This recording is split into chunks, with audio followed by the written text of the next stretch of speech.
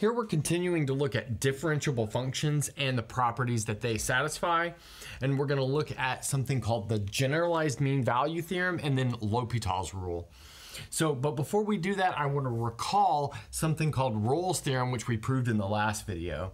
And that says that if f, which goes from the closed interval a, b to r, is continuous. So what I mean by that is it's continuous on this entire closed interval and it's differentiable on the open interval a to b, satisfying this rule that f of a equals f of b, so it's equal at the endpoints, then there is a c in ab such that f prime of c is equal to zero.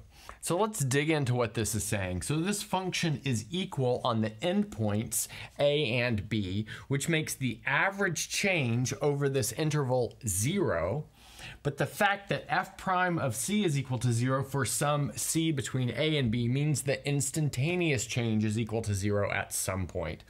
So again, this is Rolle's theorem. It can be generalized as something called the mean value theorem, which we did in the last video. So here we want to look at something called the generalized mean value theorem. That has to do with two functions. So we've got two functions, f and g, and they go from the closed interval a, b to r, and they are continuous. So in other words, they're continuous on this entire closed interval and differentiable on the corresponding open interval. And then what we get out of this is the existence of some c on the open interval where this equation is satisfied. So notice we've got f of b minus f of a times g prime of c equals g of b minus g of a times f prime of c. So this isn't a super motivating equation, but if g prime of c is equal to zero, then we can rearrange this equation in a way so that it looks a little bit more motivating, and that's like this. So we've got f prime of c over g prime of c equals f of b minus f of a over g of b minus g of a. So this is in some ways like comparing the change of two functions on an interval. Okay, so let's maybe go ahead and look at the proof of this. So the idea is we want to introduce a new function related to f and g that we can apply this theorem to that new function. And that's exactly what we're going to do. So let's go ahead and set h of x, that's going to be our new function, equal to f of b minus f of a times g of x. So notice that's just a constant multiple of g of x minus g of b minus g of a times f of x. So that's another constant multiple, in this case, of f of x. So notice h of x is a linear combination of g of x and f of x. So now we want to show that all of the hypotheses of this are satisfied. So the continuity and the differentiability are automatically satisfied because we're just taking a linear combination of two functions that have this property already. Next, we want to check that this function is equal on its endpoints. In other words, h of a equals h of b. So let's maybe go ahead and do that. So we'll take h of a, notice that that is equal to f of b minus f of a times g of a minus g of b minus g of a times f of a. So that's what we get if we plug in a into this. Okay, so now let's see what we get when we multiply all of this out and cancel some terms. So notice that we're going to have an f of a times a g of a term. And then we're going to have another f of a times a g of a term here. And they have equal and opposite signs. So this one's attached to a minus sign, that one's attached to a plus sign. So that means this product we can cancel with this product. So let's see what that's going to leave us with. So that's going to leave us with f of b times g of a minus uh, g of b times f of a, like that. Okay, now let's check h of b, and notice that we'll get the same thing. So this is going to be f of b minus f of a times g of b minus g of b minus g of a times f of b.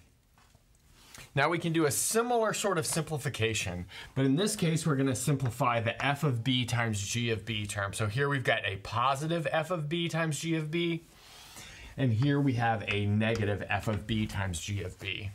And what do we get when we uh, cancel everything out? Well, we're gonna get exactly what we have above here. So I'm just gonna write that as the equality going through and then ending over here at h of b so that we have one string of equalities from h of a to h of b, allowing us to apply Rolle's theorem. So I'll go ahead and clean up this calculation and we'll do just that. So we've showed that this function h of x satisfies the hypotheses of Rolle's theorem. So that means we get the conclusions of Rolle's theorem. So in other words, there exists some c on the open interval a, b, such that h prime of c is equal to zero. But since we know the structure of h of x, we can easily find what h prime of c is. So notice that h prime of c will be equal to f of b minus f of a times g prime of c. That's using the constant multiple rule here. Again, keeping in mind that f of b minus f of a is a constant multiple. And then we have this is minus g of b minus g of a times f prime of c for the same reason. And like I said before, that's equal to zero because we've chosen that c in line with the conclusion of Rolle's theorem. But now let's see what we've got. We've got this big term minus this big term equals zero, but we can easily rearrange that into this equation right here. And then if g prime of c is not equal to zero, we can easily rearrange this equation into this equation right here. so in other words, this equation that we're left with, this f of b minus f of a, g prime of c minus g of b minus g of a, f prime of c equaling zero, is equivalent to the conclusions to the conclusion of this generalized mean value theorem. So that finishes this proof. Okay, so now I'll go ahead and clean this up. I'm gonna move the statement of this generalized mean value theorem over here, and then we'll look at L'Hopital's rule. Now we're ready to use this generalized mean value theorem to prove the zero over zero case of L'Hopital's rule. So let's see the careful statement. So we want to suppose that f and g are continuous on an interval containing a, and f of a equals g of a equals zero, g prime of x is not equal to zero for all x not equal to a, and that's a local condition. It really should say for all x not equal to a, like kind of in a neighborhood around a or something. Then we have the following implication. The limit as x goes to a of f prime of x over g prime of x equals L, that is going to imply that the limit as x goes to a of f of x over g of x equals L. So notice f of a and g of a are both equal to zero. So just straight up plugging in a into this would give us zero over zero. That's why it's this type of indeterminate form.